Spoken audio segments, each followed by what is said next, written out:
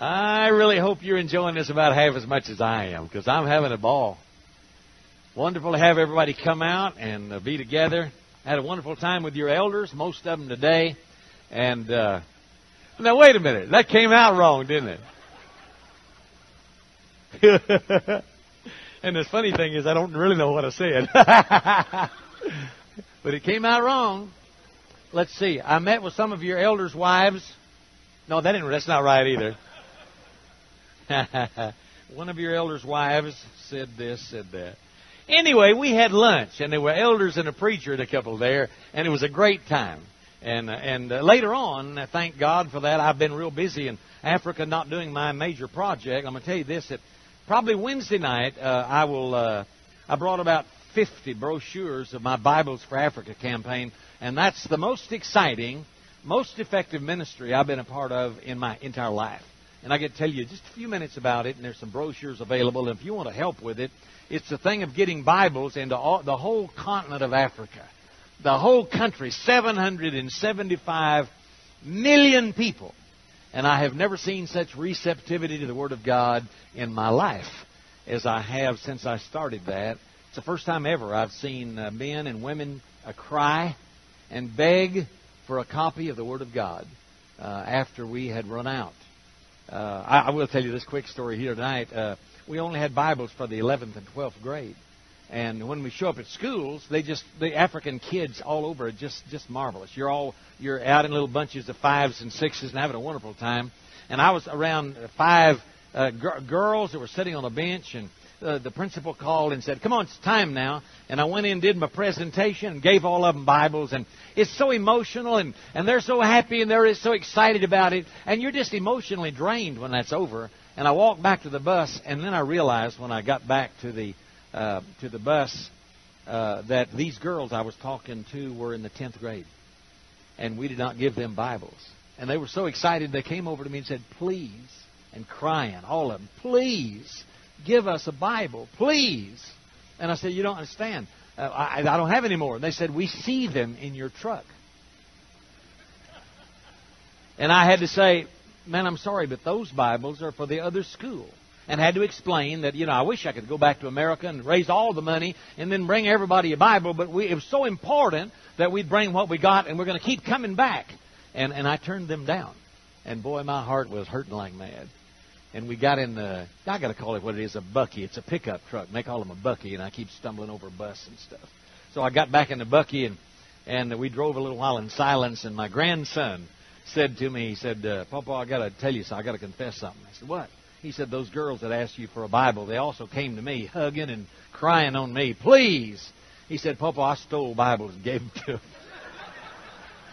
so I want y'all to pray for him that the Lord, that the Lord may uh, forgive him. We're talking tonight about praise your kids into greatness. And I saw your wildlife sitting here on the second row here of this congregation, and I asked them, what, uh, what, what should I tell your parents tonight? And I gave me a list, quit nagging, increase our allowance, give us a lot more freedom, curfew three in the morning, a few things like that. But other than that, they were pretty happy with their situations in life. Not really. Would you listen to Ephesians chapter 6 and verses 1 to 4? Ephesians chapter 6 and verse 1 to 4. Children, obey your parents in the Lord, for this is right. Honor your father and your mother, which is the first commandment with a promise that it may go well with you and that you may enjoy long life on the earth. Fathers, do not exasperate your children, but bring them up in the training and instruction of the Lord. There was an elder in Dallas, Texas, by the name of Bob McClendon, who gave me when my daughter was about 15, 16 years old. The best advice as a father I was ever given. He said, Marvin, I always date my daughter on her birthday. And I thought, oh man, that's a great idea. You know, a big ugly comes after him to take him out, you know, different place. You don't interfere with that, but you just first. I'm a father and I'm first. So I told Tammy the next birthday, October the 3rd, I'm going to take you out, and you know, and I'm going to dress up in my best suit, and you wear your best dress. I'm going to get you a corsage and me a boutonniere, and we're going to the best steak place in town. And it's just a wonderful thing, and we started doing that every year. I'm going to highly recommend that. And all of the teens said, Amen, you know. So uh, we go out to eat, and we're sitting there ordering. And there comes that marvelous time after you've ordered your meal that they uh, have all this time to fix it. And that's a wonderful time just to say, Tammy, uh, man, I got to tell you, my, your mom and I are so proud of you. And we're so glad that God gave you to us, and you're just the neatest thing in the world, and I am so proud of you. Well, the food comes, and you really enjoy the meal. And a couple of times we also uh, went shopping, and uh, and I can tell you some long stories on that one that, that are a lot of fun, but they won't add anything to the lesson tonight, so I won't. But anyway, you know, spending money on these kids, and I'd tell the sales girl my limit. And always it was about fifty, a hundred dollars more than my limit. And you'd have to say, well, that's just fine, you know, as you think about filing for bankruptcy. But anyway, you, you go ahead and do it. Well, we were passing by the B. Dalton bookstore, and the little paperback, Love, uh, was displayed by Leo Buscaglia, who's one of my favorite writers, and I've read most everything that he wrote. And I said, Oh, Tammy, there's the next book I'm to buy me. And we walked and talked and held hands and had a wonderful time. And people look at this big old guy and this young girl, they know something's up. And they realize that this is special. This is just really special. And everybody's looking, and as they look curious, and then they realize this, this, is, this has got to be something special. And it was special. And uh, we got back home, and at my next uh, Father's Day, uh, I got that book. And I didn't bring it tonight. I was really looking for it in my shelves. Uh, I just got home from Africa, like I said. And I wish I could have read you a book that is not for sale. And I really wish somebody'd try me because I really believe with all of my heart some things have no price. And I am solidly certain that $1,000 would not buy that paperback book that I've got out of my library. Those are golden moments. And those are things you do as you build bridges, not dig chasms between you and your kids. And we're talking tonight about praising your kids into greatness. Now, you can't drive your kids anywhere. Do you realize that? And parents, you know, in spite of knowing that, we keep trying. And we say to our kids, You're going to be the death of me yet. And they love to cooperate. So, you know, you can't, and you try to do all of these kind of things, but you can praise them into greatness. And this is biblically solid, and I want you to know that. That praise is a biblically right and powerful motivation to greatness and excellency. And Jesus started all off. Uh, we need to reread what Jesus did because in Matthew 8 in verse 10, a centurion came to Jesus and said, Jesus, my servant is sick, and would you come heal him? And Jesus says, Yeah, I'll come heal him. And, and, the servant says back to Jesus, No, I'm not worthy for you to come under my roof. I'm a man of authority. I understand authority. You just speak the word, and my servant's going to be okay. And Jesus turned and said publicly, there's so many people in the church that say, now don't call my name, don't praise me publicly. They are lying. I'm going to tell you that right now. We all need it, and you may say it, and you may believe it, and you may argue with me later, but you've got a right to be wrong, and I'm going to back that right. But we all love to be praised. And, and Jesus uh, turned to the crowd and said to the crowd, I have not found so great faith, not in all of Israel. And so Jesus set the precedent for praising.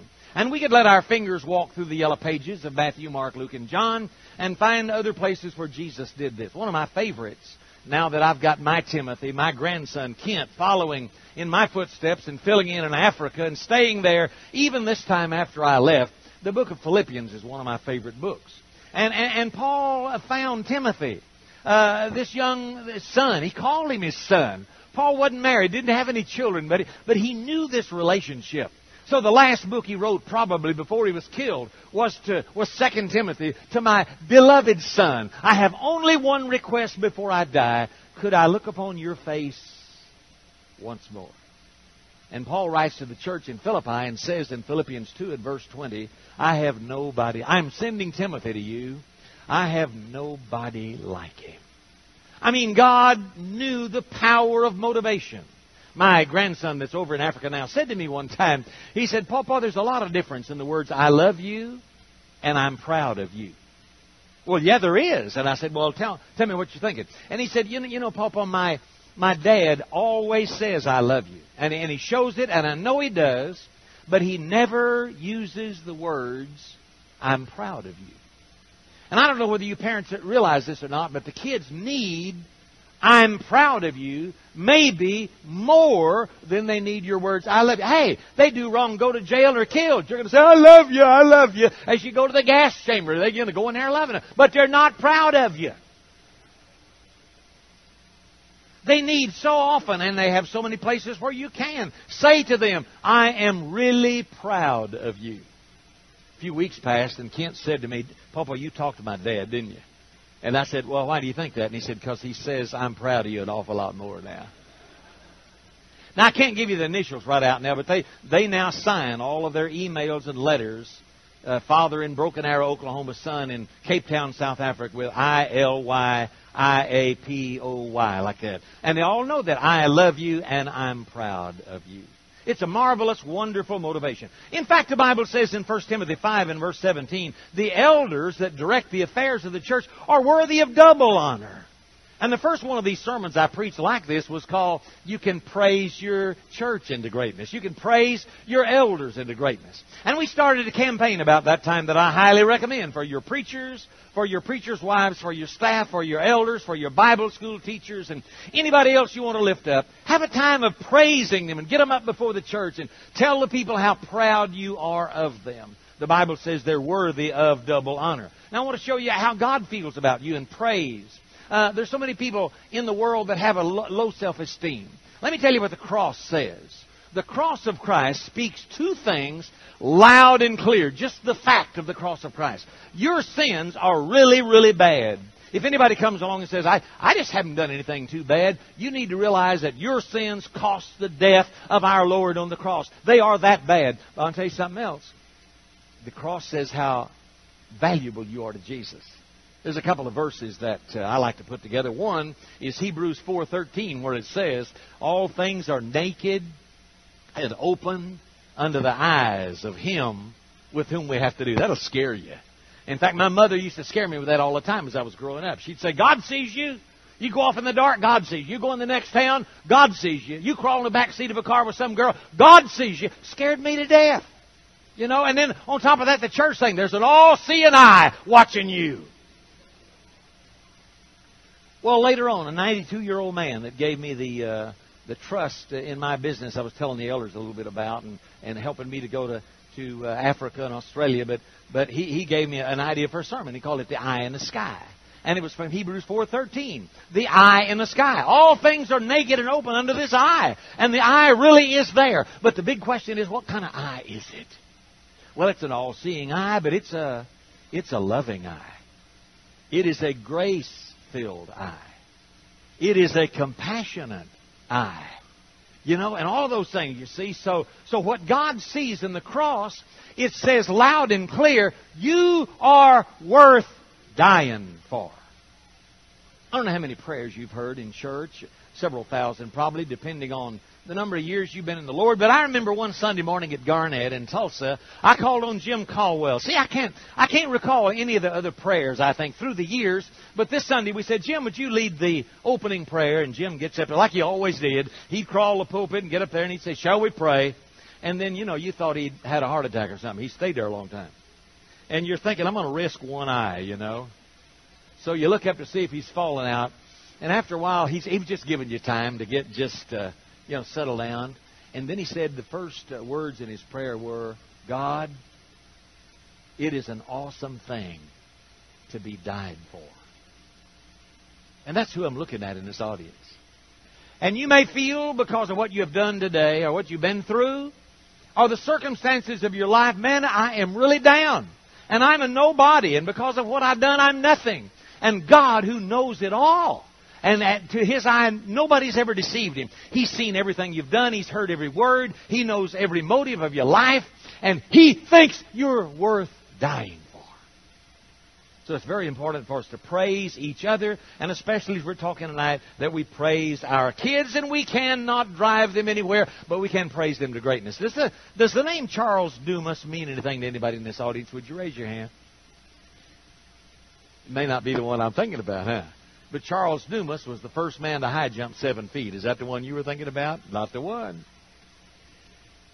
First guy to high jump seven feet. Now they, everybody does. You know, the kids go to kindergarten, you got to jump seven feet to get, you know, something like that.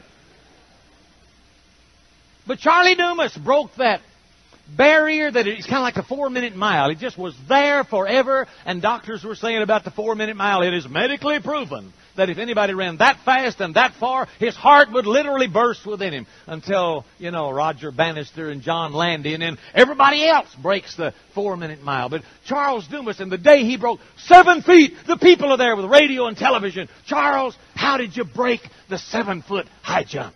He said, My mom was the greatest motivation factor. And this morning she said, Charlie, go jump seven feet. He said, I was just doing what mama said. But all he really meant was that that woman had been the greatest motivating force in his life. Now, if I ask you if you know Richard Rogers, many more of you would know that grand old saint in the Lord that is now with the Lord. But uh, and I know Rhonda really well, and I'm honored with the fact that Richard and I were very close. And his daughter said to me one time, and I really appreciate this. She said, "Marvin, I miss my dad." Every time I had a Bible question, every time I had something just real heavy, I could always go to my dad. And she said to me, Would you be my dad for me? And uh, she's not used that very much, but I really, I was really honored with that. But but she said, and Richard told me this first. He said when when Rhonda would go out on a date at night, you know how your parents worry about that. They're going. That big ugly fellow, like I said to the guy that came after my daughter, I said, "Hey boy, you you drink marijuana?" He said, I don't even smoke whiskey. I mean, he was ahead of me, you know. They're coming to get your daughter. Richard would say the last thing as they walked out the door, don't forget whose daughter you are. And Rhonda said that that called for a lot of interesting conversations in the car. After, what did your daddy mean by that? And uh, she said he was just reminding me that I'm a child of God. And it probably saved them from a lot of problems and gave parents a lot of a lot of comfort also. Have any of you ever seen the movie Eight Cow Woman? we ought to pass that one around again. It was a training film I saw when I was in the United States Air Force. But on this island where you bought your wives for a chicken or a goat, you know, if she's really good, you know, throw in a cow, heifer or two, you know. And on this island there was a woman that was born ugly and then somebody whipped her in the head with something else. And she got past the age of marrying. They called her a spinster. That's one of the nicest things they called her. And a guy came by to this woman who's the only woman in the village not married, and all of the young ones and pretty ones and pretty figures, and they all gone. And this guy came along and said to her father, I want her to be my wife. And the dad did a double take looking back at this girl that everybody had passed by, nobody wanted. And he said, More than that, I want to give you eight cows for that woman. Nobody in that village had ever given eight cows for any woman. And in the training film, it had the, the ideas presented to you. How do you think that woman felt? And what do you think the other villagers said when they saw her walking through the village? They didn't say, There goes fat and ugly. They said, There goes the. I forget what it is. You have to fill it in for me. The eight cow woman. That's what he was. How do you think she treated that man? Like an eight cow woman, you know. How do you think he treated her? And the marriage was so great. And see, the key to this thing was praise your woman, praise your church, praise your young people. And tonight we're talking about kids, and it is so difficult. I, I, I talk little about raising kids today because it's been too long ago since I raised them. But I still love them, and I love working with them, and I see the potential in all these kids that the world is just beaten down into a pulp. There was a guy named Jerry Cook I think he preached in a Presbyterian church. All I know about him is that, and they wrote a, wrote a book called Love, Acceptance, and Forgiveness. And the reason he wrote the book was his church wasn't doing well. I mean, it had its heyday, and now it was losing members and losing excitement, and it was boring, and people were hanging on with the big building and the empty pews, and it was a foregone conclusion this church's going to be dead in a little while. And Jerry C. Cook asked himself the question what do people have to do to me to make me give everything I've got for them? And he came to a conclusion if you will just love me, if you will just accept me for who I am, if you will forgive my mistakes, knowing that in all of these I'm doing my best, I would work my fingers to the bone for you. And realizing that in himself, he sold the concept to his church. It's a true story in a book probably worth reading. All I know about that book is its title and its author. But I know the situation works. And, and, and in the true story, the church began to grow and flourish in, in numbers and adding on things and doing great works, and everybody's happy. And he's a well known uh, preacher all over the world. And it's all on the give ourselves love, acceptance, and forgiveness. And what if in marriage, let's go to husband and wife just for a little while, what if you made a deal? I was talking to Ruth about this earlier. We were sitting and chatting, and my wife and I are about as different as any people in the world. They really are. Everything I like, she hates. And everything I like, she hates. Just about that bad. You know, I love motorcycles. She hates them. I love camping. She doesn't. I love travel. She doesn't like that. You know, all this kind of stuff. You know, how in the world are we going to make it? And and the idea. And somebody said to me, "You're gone a whole lot. Why do you think we don't argue a lot?" But we agreed a long time ago to give each other healthy doses of love, acceptance, and forgiveness. We try to make each other over in our own image. Husbands do that to their wives. Wives do that to their husbands. Get off his back. Give each one love, acceptance, and forgiveness. And by the way, parents, then give it to your kids. How you like that? How would you like to have healthy doses from your parents? A, a written commitment or a verbal commitment. Listen, We've had a lot of struggles, and I don't understand where you're coming from, and you don't, and I make rules, and you fight against them, and we have all of this problem. Let's make a deal here. I'm going to give you healthy doses of all the love I can give you, and all of the acceptance of who you are, and all of the forgiveness for all of your mistakes, and you got to give it to your parents.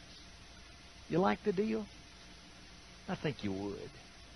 Because I know I would. That's all I really want in the brotherhood, in the, in the church of Jesus Christ. Love me. And please accept me. I don't do everything right. People write me a lot, you know, and they criticize what I do. Well, come on, I'm human and I know more. I wrote to one guy and I said, all these little criticisms you got of me, you wouldn't even bother with them if you knew the big things I'm worried with. You know? One guy was beating me up, just beating me up. He was in my face and I said, okay, I'll take all of that. Now, just to get it in proper perspective, would you tell me something you think I do good? Bothered him because most people don't want to do that. But you know, we, we do, and so you want to give your kids these. Now, so number one, let's praise them, okay? Number two, let us thank God for our children. I even thought about doing this tonight, Jody, and I'm not going to, and I probably will regret that I don't. But in one place, I think it was only a couple of places I've ever done this, but but uh, I just decided because I love groups of people. I love. I don't like the Church of Christ circle all the way around. Let's get real close together, hold hands, and make a circle where you'd have to have a bullhorn for somebody to hear you way back there. I don't want there to be any air between us. Get in here, you know, and all get together, see? And then let's love and pray with one another. And one night I asked all the teenagers, 13 through 19, come forward. We got over here in a space and get away from everybody. Come up here and get all the air out. Get, you know, circle. Come on in here and just stand close together so there's people all around you you know. And then I asked all their parents to come join them, lay hands on them. And did anybody else in the church that wanted to come lay hands on them and just thank God for these young people? We really have a lot of reason to thank God for you. I mean, you're created in the image of God, and the Bible talks about so many things. Uh, when Esau met Jacob, and, and all of his wives and children were out there in front of him, and, and Esau says an exclamation, Who are all these kids? And Jacob says back, These are the children that God has graciously given me. I mean, he was excited about God has graciously. Don't you, you thought that when they were born. Don't ever forget what a gracious gift your children are to you. In Psalm 113, verse 9, it says that God has made her a happy mother of children. And somebody said to me, When should I start being thankful for, for my children? When are you going to get pregnant? That's the time to start. We just need to start from the very beginning and being thankful for our kids. Number three, let's love our children. The Bible says in Ephesians 5 and verse 29, no, no man ever hates his own flesh, but he nurtures it and cherishes it, you know, as Christ did the church. And the Bible says for older women, Titus 2 and verse 4 in the church, this is your job this is what we do. These are the cultures we pass along. And these are not national cultures. These are biblical cultures. That's a lot stronger. Older women teach the younger women to love their husbands and love their children and to be discreet and chaste and pure uh, keepers of the home. You say, well, I love them. Uh, and, and, then we go to this thing about uh, have you told them? You know, uh, I mentioned that a little bit last night. Uh, this guy saying, I told you I loved you, and if I ever change my mind, I'll let you know. But we need to say the words. We say often, well, it goes without saying. That's the problem. Get it out. Get it said. Well, it's a little difficult for me. Well, then spit it out difficult, you know. People used to think preachers will win soul. One lady said to me, I'd be a soul winner if I could do like you preachers. You say to a guy, here's the scriptures, one, two, three, follow me to the baptistry. If I could do it that easy, I'd win souls for Christ. And I said, let me tell you how I do it after 50 years of soul winning. I get down to the point, I love sharing Christ, boy. I just love that. And I get down to the point of asking them to respond to Jesus. And guess what? My mouth gets a little dry. And my tongue gets a little thick. And I begin just a little bit of sweat under the arms or across the forehead. See, Jesus didn't say you had to ask them cool. Just ask them. And so I, would you like to respond to Jesus right now? You know? And they go do it, see? And so here's your kids, and you love them. If I ask any parent, it would be insane for any parent to stand up and say, I'll tell you what, I don't love my kids. Come on. That's some kind of monster that would do a thing like that. You love them. When's the last time you told them? Well, and more than tell them, uh, show them and give them plenty of affection. It's been my uh, experience to see little boys who've been taught some way that they don't need affection. So some, some, their mother, their aunt, somebody comes along, gives them a hug, and they, ah, go ahead and move around. I tell you what, you watch them close, and all the time they're, re- they're rejecting all of this. They're smiling, they're laughing, because the worst thing you can do to your child is not give them the affection that they need. We're afraid it's going to make them sissy and soft and homosexual. Let me tell you what causes all the quirks and perversion in the world and homosexuality and, and a whole bunch of other things is more caused by withheld affection than too much affection. Number four, I'm passing these fast because I'm because I'm it's back there, but I'm not going to say it. Number four, listen to your children. I'm going to tell you a story. There was a, there was a guy that was a, the field representative of his company. A lot of you can relate to that because you are men and women, and you travel a lot. And this guy I heard about was uh, uh, traveling a whole lot. So he'd finished the day, long day, and in, in his motel room that night, he'd had a late dinner back in the lonely motel room, finishing up all the paperwork and trying to get everything. And then, and then thoughts began to run toward home, and he realized, looking at his watch, man, it's 11 o'clock, and I haven't called home. And so he dialed the number quickly, and at 11 o'clock, his four year old boy answered the phone. And he said, Johnny, what are you doing up this late? Let me, let me talk to your mama. And little Johnny said, Daddy, mama's asleep. And he said, Well, no, no, well, go wake her up because Daddy wants to talk to her. And he said, Daddy, she's been asleep all day, and I've been trying to wake her up, and her eyes are open and they look funny. And Daddy says to the little boy, Johnny, hang up quick so I can get help. And his little son screamed back in the phone, Daddy, don't hang up on me. You can see the scene of a little boy that's been there all day long, not knowing what's going on. It's an agonizing thing. But I got to tell you, ladies and gentlemen, brothers and sisters in Christ, there are young people all over the world that feel hung up on, that don't feel anybody cares. Why do you think we have suicide notes when they don't mean it? And why do we have so many accidental suicides when all they're trying to do is say, don't hang up on me? We've got to listen to them. We've got to love them. We've got to listen to them. I found out early in life with my kids, you know, I was watching all the neglect and stuff, and I thought early in life when my kids are that small, I'm going to be different. You, you've been there. I'm, I'm make time for my kids. I say to my kids every Monday night, buddy, is family night. It's going to be you and me and the kids, and we're going to play together and do this and do that. And I didn't know that you can't get away with that. So I said, okay, Monday night, family night, and it's going to be good. We're all going to have a great time. Dad, they said we're not going to have a great time. Because, see, I got a tennis lesson with so and so. I got to run track. I promised Mary I'd come study with her, you know. And here I am trying to be a good dad, and I've made my time, and after all, my work is so important, and now my kids got no time for me. You know what you have to do? You have to stay available for them. You've already found out you can't make appointments with your kids, but they're going to need you and they're going to need you when you're not ready to be needed. I mean, I tell mine, my little ones, Tammy.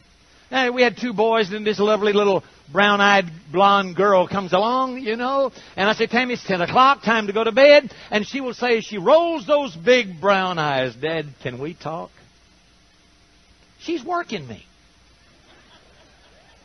And she knows that I know that she knows she's working me. Well, I'll tell you what, you better put that paper down. I mean, lost, you know, and all those things as the stomach turns and all those programs you're watching. Edge of hysteria, all of that stuff, you know. All of God's monsters, all of them, whatever. All of my monsters, whatever, you know. You're watching a lot. Put that paper down. Shut off that television, you know, because you're not going to have this time all of your life. And so some of the best talks we've had have been these times when I know that we were being worked, but they were some of the best they were the best things in the world. I, I told you a little bit last night about when I quit making rules for my kids. I got to tell you one time, parents, because this is this is old. Okay, you got to adapt this to now. I don't know. I don't even know what you do now about hairstyles and stuff. I lived in a different age, raised kids in a different age. They change every day. So I decided coming back from Australia, okay, I'm going to try to be a good dad. I'm not going to try to make my kids look funny. But buddy, you are. I'm going to tell you this. I'm giving up all the rules, but you're going to get a haircut once a month. And uh, see it get closer and closer to it, and I'm getting happier. Ha ha ha. Birthday. And you see, haircut five days, four days. Ha ha ha. And I'm enjoying this, see. And the kid's getting more and more miserable. And we're not, it's not, something's not working. And finally, when, when Mark said to me, Dad, uh, I got to get a haircut in two days. And I said, Yeah, that's right. He said, Dad, can I please have three days? That's a strange request. And I said, because I don't understand this. There's something I'm not getting here.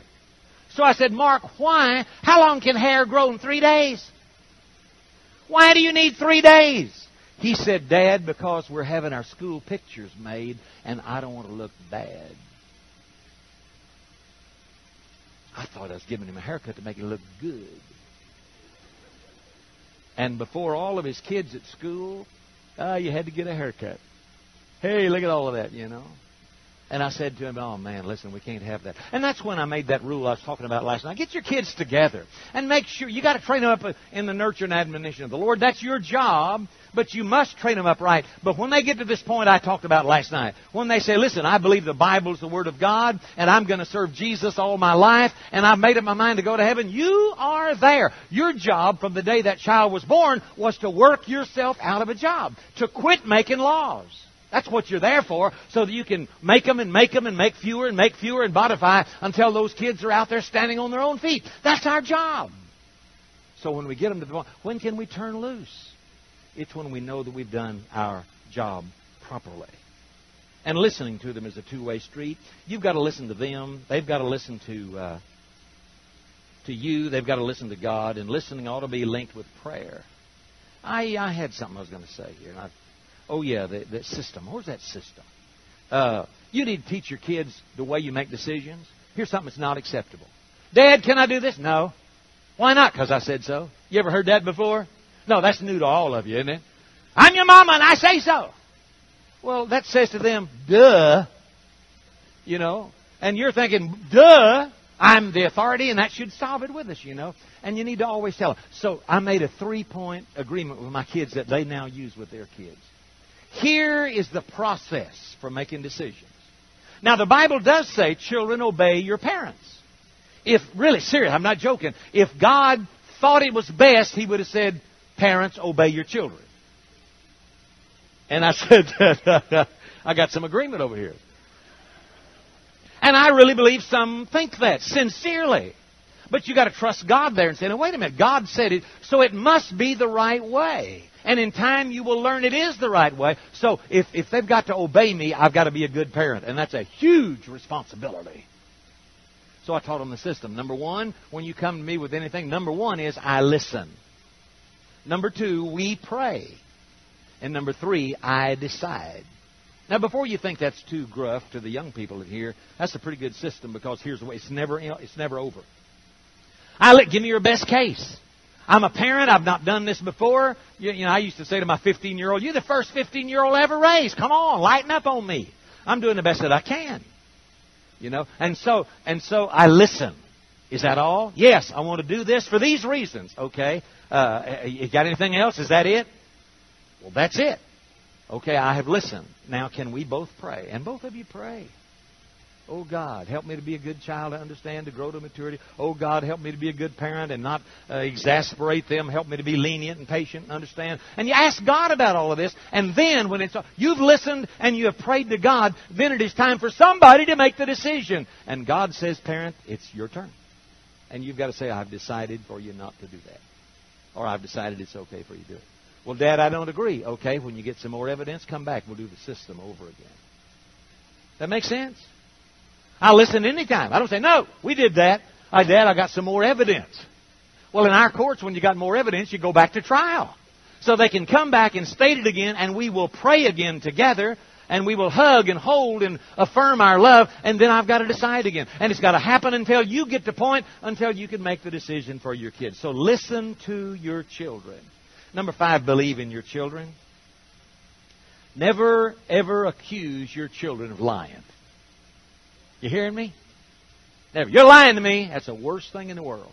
Child is already a little bit uppy, and you say to them, "You're telling you're a liar. You're telling me, and you know it. You're lying, and you know it." You know what they say inside them? Okay, okay. He doesn't believe me anyway, so it is justified for me to lie all I want to. And you'll raise a liar that way. Now let me ask you a question: Will your children lie? Yes. so what do you do about it? Well, let me give you an example. Mark, I was a pretty strict parent. I, I'm happy about this. I tried to be fair, but I was what they would call strict. When I say something, I mean it. If I say 11 o'clock is your curfew, I do not mean 11.05. I'm telling you the truth. You need a good story if you come in at 11.05 if I've said 11. Or 12 or 1 if you come in 5. Then my kids all knew this.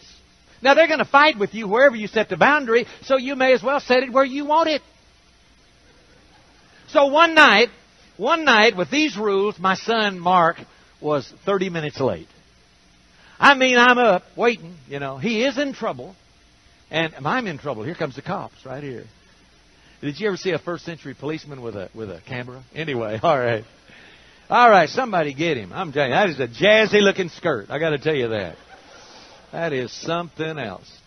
Anyway, so he comes in 30 minutes late. I'm standing at the door. He walks in the door and he says, Dad, I got a good story. I said, You need one. He said, Okay, Dad. He said, I was coming home, you know, I was on my way home, and he said, I ran through this water, and the car died.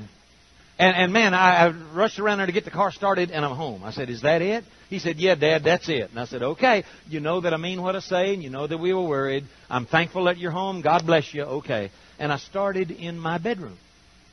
And Mark started up the stairs. I mean, it sounded fishy as all get out. But he was scot free. And as he got the third step, he looked back and said, Dad, can we talk? I said, Yeah, we can. And he walked back down the stairs and said, Dad, that isn't the way it happened at all. I said, What happened? He said, Dad, I just really wasn't paying any attention. And I looked at my watch and I thought, good night, I am 30 minutes, I'm dead. My dad is going to skin the hide off of me with his eight foot belt with hooks in it. And he said, you know, and I'm thinking on the way home, I need a story, I need a story. And he said, I saw that water. So I ran in it and turned the key off. He said, the motor died. Duh. He said, then I started and came on home. And I'm, I'm fighting not to laugh, you know. But the bigger story is, I said to him, Mark, can I ask you a question? You were scot free. You were upstairs free. End of story. Why did you come back and tell me? You know exactly what he said. Dad, you believed me. Kenny Rogers sang that song that she believes in me. I'm proud of you. And I'd say, okay. See, you don't ever say to your kids, you're lying to me, but you can say, okay, are you telling me the truth? Yes, I am. Okay, because you know. State this. You know, in our family, we do not lie. We don't lie here. So thank you for telling me the truth. And I'm trying to tell you that the worst punishment you can give a child is to believe in them if they're lying to you and it will cause more repentance and more getting back close to one another. All right, uh, I got to tell you one more here. I'm full of these stories, you know, tonight, and you got to understand that I am. Uh, I asked my daughter when she was like 14, 15. I always like to check up on myself, so I said to Tammy one night, Tammy, what do you think I would do if you got pregnant? And she said, Oh, Dad, that'd be awful. And I said, Yeah, it would be, but but I'm, what I said was, uh, what do you think I would do? She said, Oh, Dad. She said, I'm the preacher's daughter in the church, and oh, and, oh, it would just be horrible. I said, Tammy, yes, all of that's true. But my question is, what do you think I would do if you got pregnant at 15 out of marriage? I remember screwing up that little body and looking me straight in the eye with those big brown eyes, and she said, I believe you would stand right beside me. And I said, Don't you ever forget it. Don't ever forget. You can break my heart. You can disappoint me. You can do anything in the world. But you can never, ever make me leave your side. I'm going to be there as long as I am alive. And if, and if your kids know that, I really believe that they need more than all of our rules, which they do need because they're inexperienced and we've come along the road. And the Bible says it. But they need us to be with them. They need to know that you will never forsake them. Kids and divorces, the biggest problem they face is, am I going to be left alone? Am I going to be uh, forsaken? So, believe in your children. I got two more, and I'm going to do this quickly. Number, number six is discipline your children. You got to discipline your children. I've got to withhold what I really want to say tonight because I don't think I'm on the same page with modern day parents. I'm real sorry about that, and I will accept the possibility that I'm getting older and don't understand you. But at the same time, I don't buy you believing that you can't make your children mine.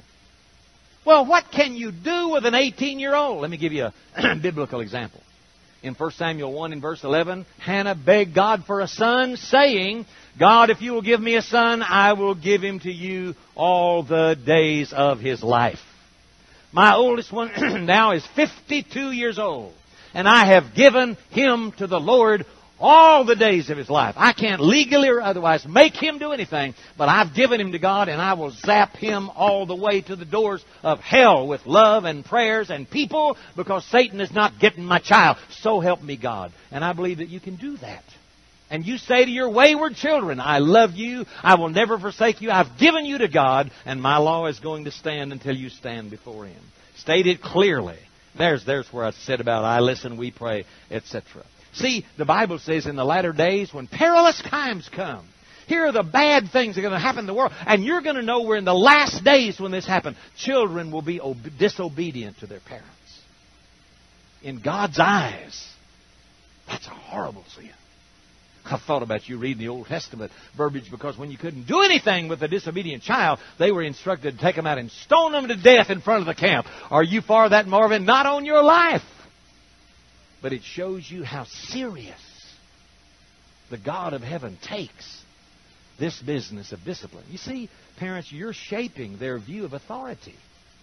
And if we don't get our view of authority correctly in school and government and in home and parenting and in the church, and we're finally going to stand before God's authority, and it's going to be a, a bad time to say to God, Hey, I just did as I pleased. Because Jesus said, Not everyone that says, Lord, Lord, will enter the kingdom of heaven, but he that does the will of the Father which is in heaven. Parents, develop your children's attitude toward authority. Now, uh, seventh and last is this set them an example worth following. I remember when I was in Port Lavaca, Texas, I was real close to the chief of police and worked a lot with the police. And we picked up a kid one night, drunk and wreck, and I can't remember now whether it was anybody just hurt bad or killed, but it was one of those. And uh, they called the father. Finally found him. They weren't at home. Found mom and dad drinking in some bar. we have your son in jail. He's had a wreck, drinking. And the dad said, I'll, I'll beat him within an inch of his life. He knows better than that. And when he talked to the boy in jail, the boy said to him, Dad, guess where I got my whiskey? Out of your liquor cabinet. I've been watching you and mom drink and go to the bars all this time, and we've been sneaking it at home and doing it forever. And don't, you can talk to me about anything, but don't talk to me about you telling me the way I ought to live. Are your parents safe? following your example. Let me give you this poem, and then I really got the last point out of line. I've already given it to you. Give it once more. One of my favorites, and if I can't remember it, I've got it written down here, but I like to give it if I can. A careful man I want to be. A little fellow follows me. I do not dare to go astray for fear he'll go the self same way. I cannot once escape his eyes. Whatever he sees me do, he tries. Like me, he says he's going to be. This little chap who follows me. He thinks that I'm good and fine, believes in every word of mine. The base in me he must not see. This little chap who follows me. I must remember as I go through summer sun and winter snow, I'm building for the years to be that little chap who follows me.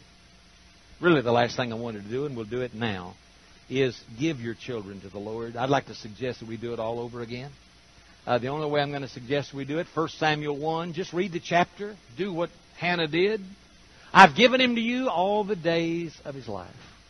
Maybe some of you parents have not really made that decision, and you can make it tonight.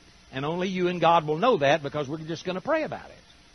And, and I can say to all the young people, with all the mistakes that your parents make, on top of all the mistakes that you make, why don't we realize that God knows what He's doing, and tonight you will recommit to being obedient to your parents, knowing they are human and often wrong, and commit to God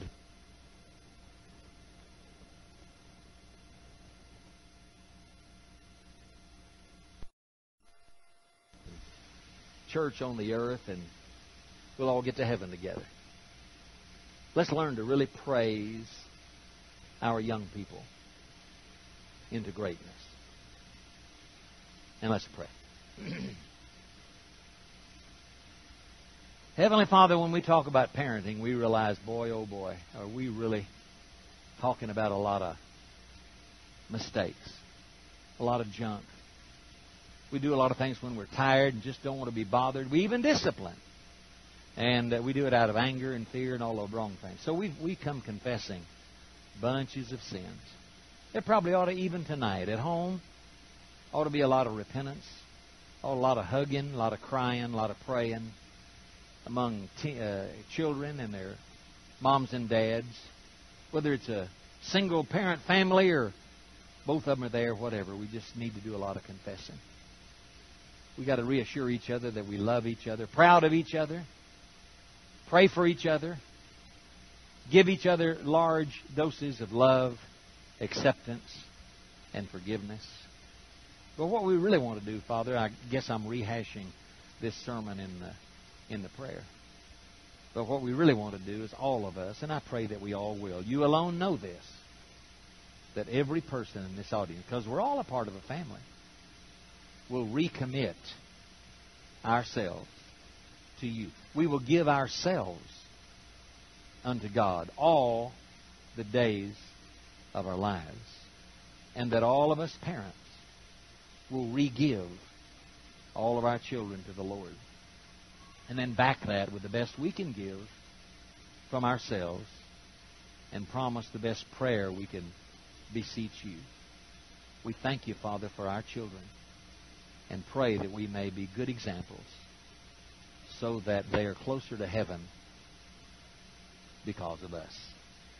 In the name of Jesus, amen.